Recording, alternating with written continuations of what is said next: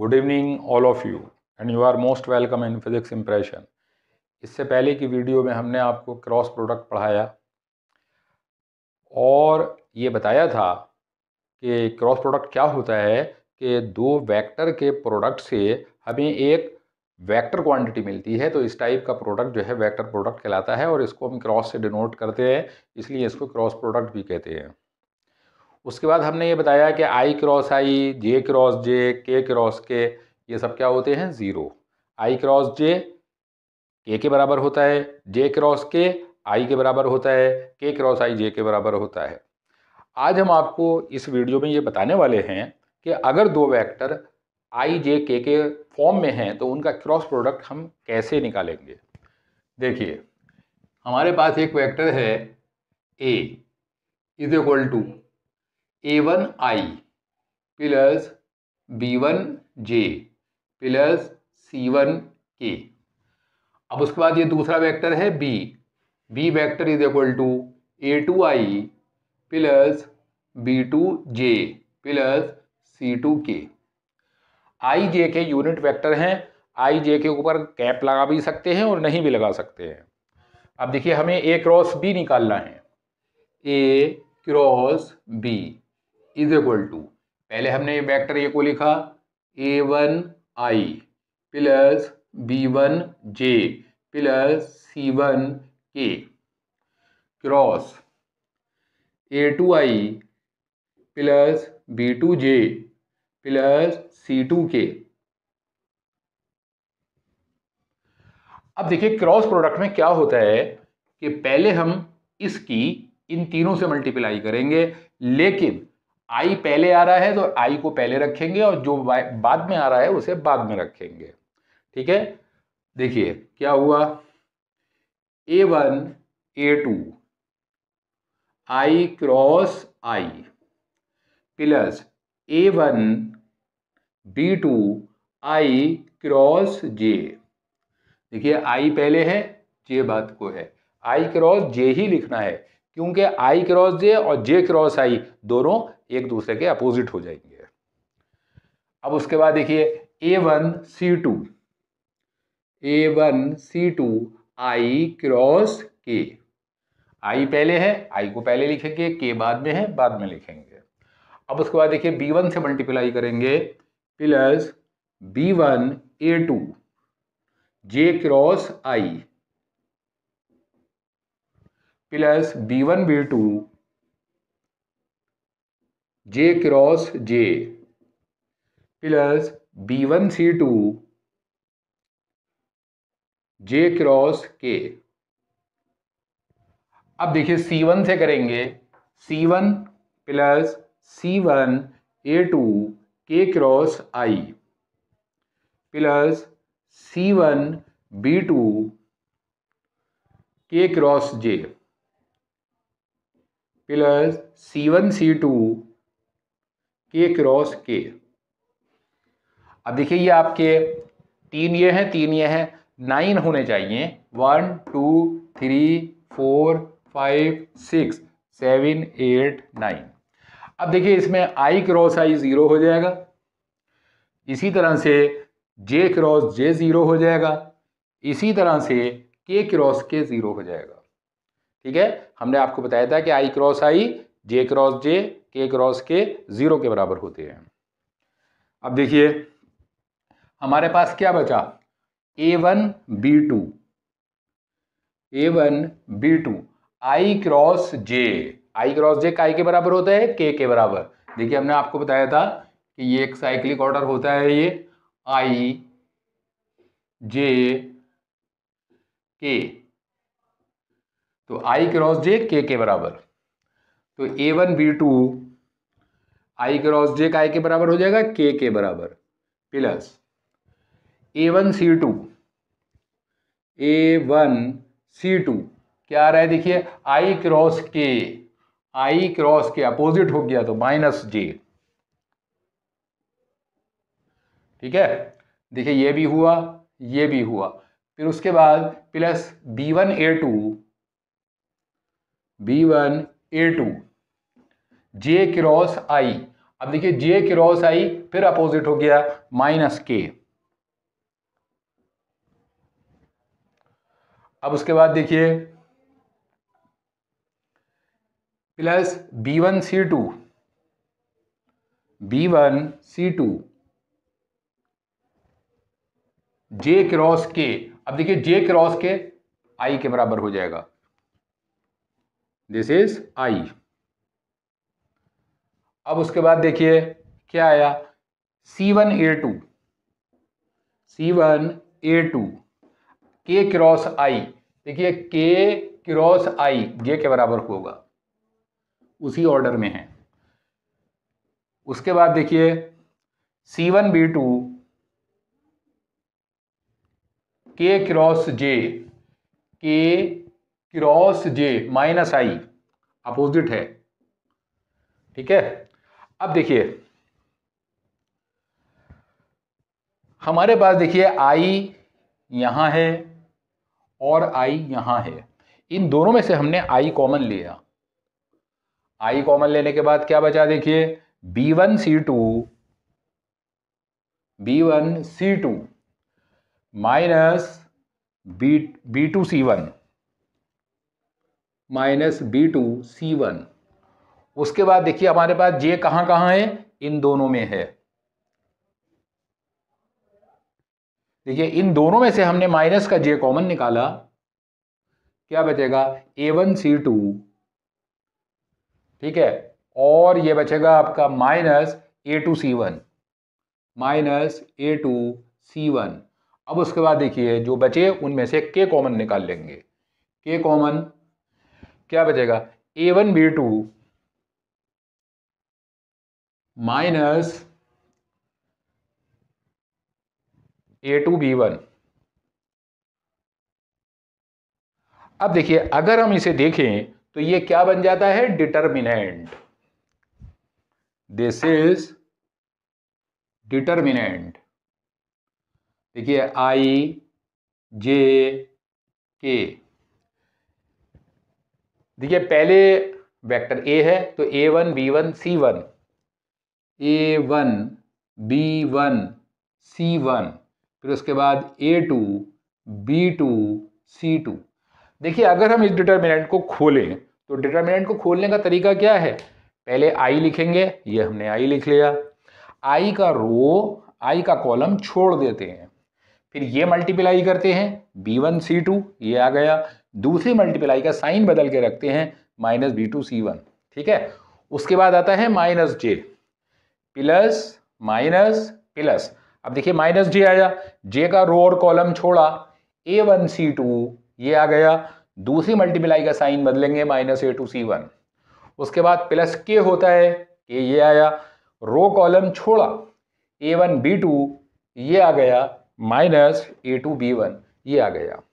इसका मतलब क्या हुआ कि दो वेक्टर का क्रॉस प्रोडक्ट के लिए हमें क्या फॉर्मूला याद रखना है?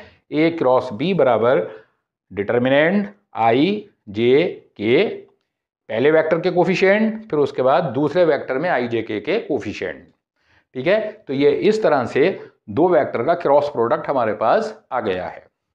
अब देखिए, इसके बेस पर हम आपको एक प्रॉब्लम बताते हैं।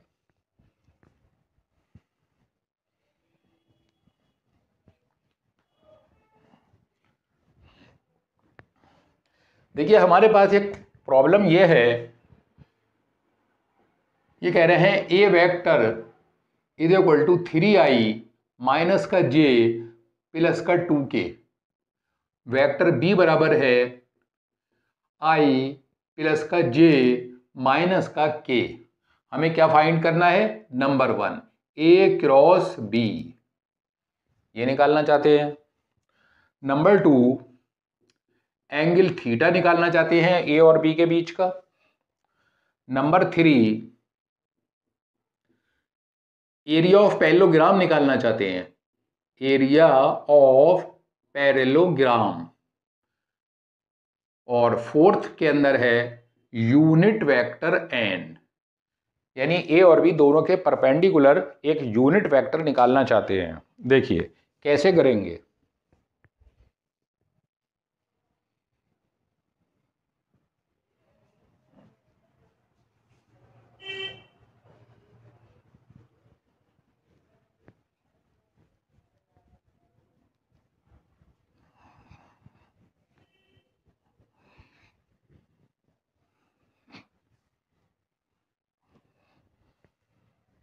देखिए, पहले हम ए क्रॉस बी निकालना चाह रहे हैं। A cross B is equal to क्या लिखेंगे हम? डिटर्मिनेंट आई जे के लिखेंगे। अब देखिए, पहले ए है तो ए के कोफिशियंट लिखेंगे। ए के कोफिशियंट कितने? Three minus one two three minus one two अब देखिए बी के कोफिशियंट लिखेंगे। बी के कोफिशियंट क्या है? One one minus one. One one minus one. यानी जो वेक्टर पहले है, उस वेक्टर में आई जे के के लिखेंगे, फिर उसके बाद दूसरा वेक्टर में आई जे के के लिखेंगे। अब देखिए डिटरमिनेंट को ओपन करेंगे। पहले आई लिखा रो और कॉलम को छोड़ दिया। माइनस वन की माइनस वन से मल्टीप्लाई करेंगे प्लस वन। उसके बाद वन की टू से मल्टीप्लाई करेंगे, टू, और साइन बदल लेंगे माइनस टू उसके बाद आता है माइनस जे अब देखिए रो कॉलम छोड़ देंगे थ्री की माइनस वन से करेंगे माइनस थ्री और वन की टू से करेंगे टू लेकिन साइन बदलेंगे माइनस टू उसके बाद आता है प्लस के रो कॉलम छोड़ेंगे थ्री की वन से करेंगे थ्री वन की माइनस वन से करेंगे माइनस वन लेकिन प्लस वन अब ये कितना हुआ, देखिए। Two one minus I minus three minus two minus five plus five J उसके बाद three plus one four this is four K ये आपका ए क्रॉस बी आ गया। अब उसके बाद देखिए हमें क्या निकालना था दूसरा? एंगल थीटा एंगल थीटा निकालने के लिए देखिए एंगल थीटा कैसे निकालें? पहले हम ए क्रॉस बी का मॉड निकाल लें। ए क्रॉस बी का मॉड कितना होगा? मॉड निकालने की तरकीब क्या बताई थी आपको? आई के क्वेश्चन का स्क्वायर माइनस वन का स्क्वायर प्लस वन जे का ट्वेंटी फाइव प्लस के का सिक्सटीन कितने हो गए देखिए? Forty two root of forty two ये ए क्रॉस बी का मॉड आया। अब देखिए ए का मॉड निकालेंगे। ए का मॉड कितना होगा हमारे पास? अंडर रूड देखिए ए कितना था हमारे पास? Three minus one, two. तो थ्री का स्क्वायर नाइन माइनस वन का प्लस वन, और उसके बाद टू का square plus four. Under root fourteen. उसके बाद बी का मॉड निकालेंगे। बी का मॉड क्या हो जाएगा? देखिए, one one one. Under root one plus one plus one this is root three अब देखिए, हमने आपको बताया था कि ए क्रॉस बी का मॉड क्या होता है? ए बी साइन थीटा होता है। ठीक है? यहाँ से हमें साइन थीटा की वैल्यू निकालनी है। तो sine theta is equal to A cross B का मॉड अपॉन ए बी अब देखिए ए क्रॉस बी का मॉड हमारे पास है। कितना है? Root forty two this is forty two का रूट। अपॉन ए मॉड हमारे पास कितना है? रूट फोर्टीन बी का मॉड कितना है? रूट थ्री अब देखिए, इसको हम एक ही रूट के अंदर रख लेंगे। Root forty two upon fourteen into three three time cancel three से three cancel this is one और वन जो होती है, वो साइन नाइन्टी की वैल्यू होती है। तो sine theta is equal to sine ninety तो theta is equal to ninety degree ये दोनों वेक्टर के बीच का एंगल आ गया है। अब देखिए, उसके बाद आपको क्या निकालना था? नंबर तीन में एरिया ऑफ़ पैलोग्राम देखिए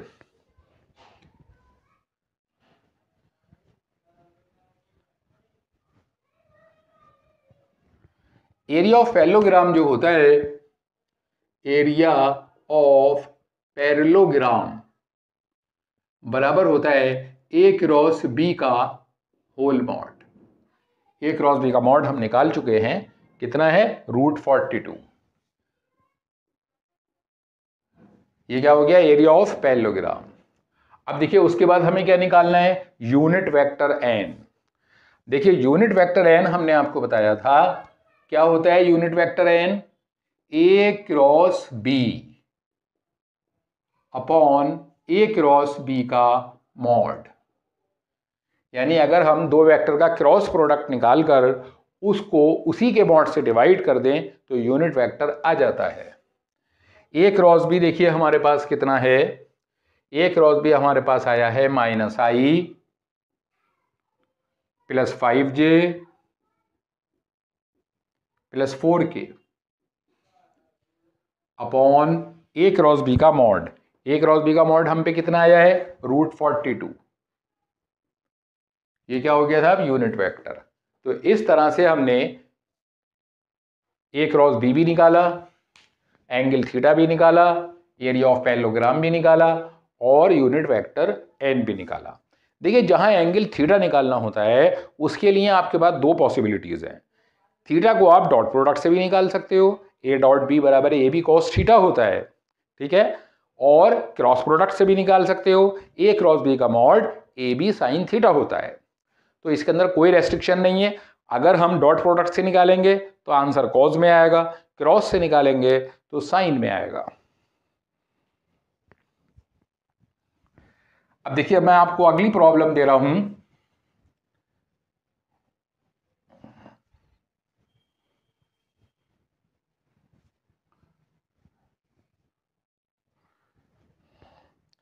देखिए क्वेश्चन नंबर नेक्स्ट क्वेश्चन ये कह रहे हैं कि A vector plus B vector का whole mod is equal to A vector minus B vector का होल बॉन्ड इफ़ यानी अगर ए प्लस बी का whole mod A minus B के होल मॉड के बराबर है तो हमें क्या निकालना है?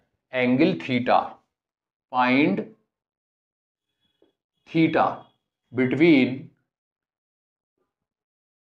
A vector and B vector देखिए।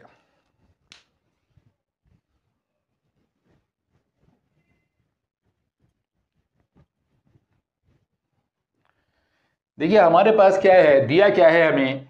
A vector plus B vector का whole mod is equal to A vector minus B vector का होल मॉड दोनों तरफ़ स्क्वायर कर देंगे। A vector plus B vector के होल मॉड का whole square is equal to A vector minus B vector के whole mod का square अब देखिए स्क्वायर होल स्क्वायर खोलेंगे।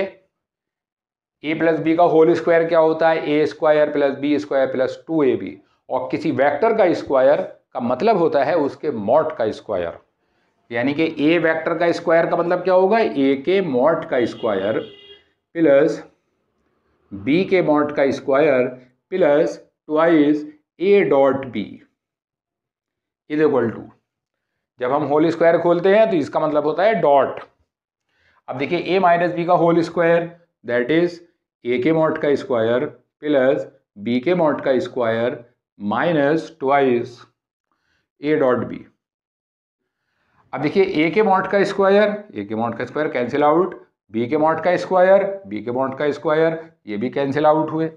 अब देखिए, इसको हम इधर ले आएँगे। Four A dot B is equal to zero अब ये फोर नीचे आन के डिवाइड करेगा ज़ीरो अपॉन समथिंग ज़ीरो होता है। तो A dot B is equal to zero अब देखिए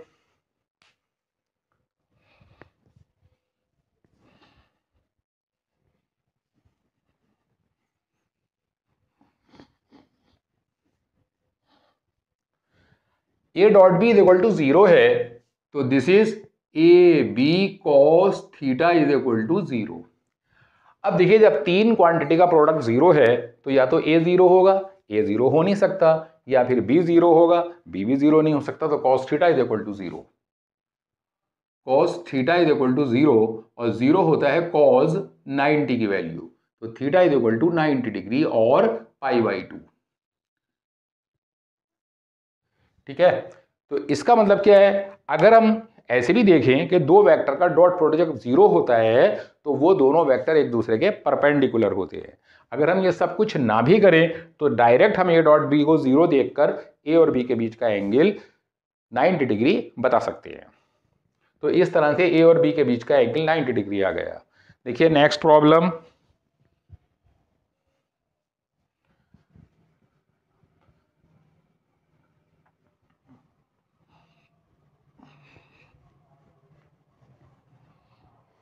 देखिए, अब हम ये कह रहे हैं कि इफ़ ए क्रॉस बी का whole mod is equal to root three time A dot B का मॉड तो find theta between A vector and B vector अब देखिए, अगर ए क्रॉस बी का mod root three time A dot B का mod है तो ए और बी के बीच का एंगल निकालना है। देखिए, इसे हम लेके चलते हैं। ए क्रॉस बी का whole mod is equal to root three A dot B का मॉड ए क्रॉस बी का मॉड होता है A B sine theta root three A dot B तो खुद ही मॉड होता है, इसलिए ए डॉट बी का मॉड क्या हो जाएगा? वही होगा A B cos theta A B से A B cancel sine theta upon cos theta is equal two root three this is tan theta tan theta is equal to root three और root three tan sixty की value होती है तो theta is equal to कितना हुआ? Sixty degree clear तो इस तरह से ये प्रॉब्लम पूछी जाती है। देखिए और बताते हैं आपको।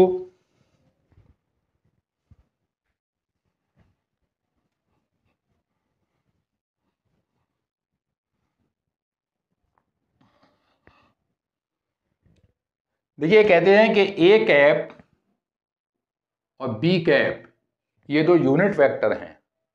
And their resultant their resultant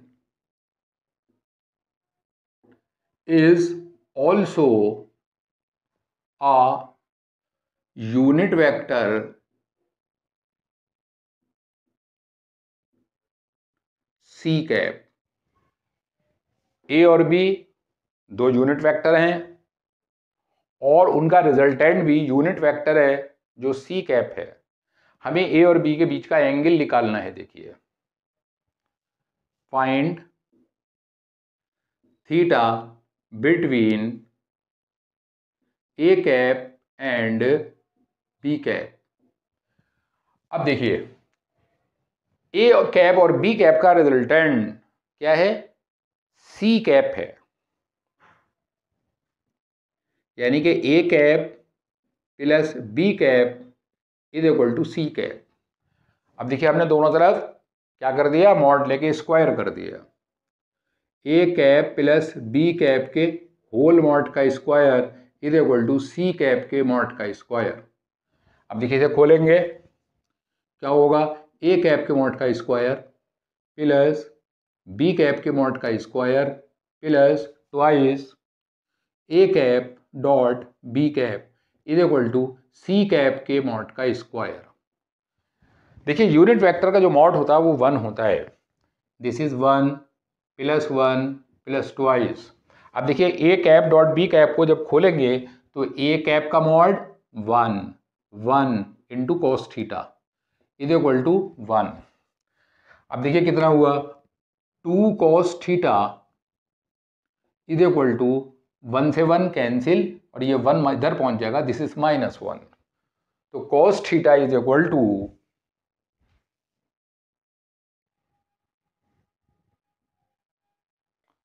cos theta is equal to minus 1 by 2 this is cos 120 degree cos 120 degree की value minus one by two होती है तो theta is equal to 120 degree इस तरह से ये हमारे पास आ जाता है। ठीक है? अब देखिए नेक्स्ट प्रॉब्लम आपको दे रहे हैं।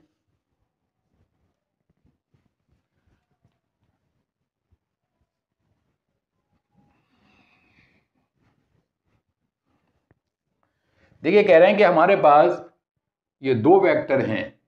A vector is equal to I plus J minus K B vector is equal to two I plus X J plus Y K ये कह रहे हैं। अब देखिए कहते हैं कि अगर A vector is parallel to B vector find X and Y देखिए, इस क्वेश्चन को अगर हम डॉट प्रोडक्ट से करें तो अगर दो वेक्टर एक दूसरे के पैरेलल होते हैं तो A dot B is equal to A B होता है। लेकिन इससे एक इक्वेशन बनेगी और दो वेरिएबल हैं तो सॉल्यूशन नहीं आएगा। इसलिए पैरेलल की कंडीशन हमने आपको बताई थी कि अगर दो वेक्टर पैरेलल होते हैं तो एक वेक्टर को हम दूसरे का एन टाइम कर देते हैं। This is N time of B ठीक है? यानी अगर दो वेक्टर एक दूसरे के पैरेलल हैं तो एक vector is equal to N time of other vector अब देखिए इस कंडीशन में हम क्या करेंगे? इसके कोफिशेंट का जो रेशियो है वो इक्वल कर देते हैं। This is two by one two by one is equal to X by one is equal to Y by minus one अब देखिए, पहले हम इन दो को लेंगे तो x is equal to two आ जाएगा और y is equal to minus two आ जाएगा। तो इस तरह से ये पैरेलल का बहुत सिंपल क्वेश्चन है और अगर हम इसको डॉट या क्रॉस से करेंगे तो ये नहीं हो पाएगा, ठीक है? तो हमारी वीडियो से लगातार जुड़े रहिए। वेक्टर के अंदर बहुत कुछ आगे आने वाला है। काफ़ी हाई लेवल पर हम वेक्टर पढ़ाने वाले हैं। तो वीडियो को लाइक चैनल को सब्सक्राइब ज़रूर करें। Thank you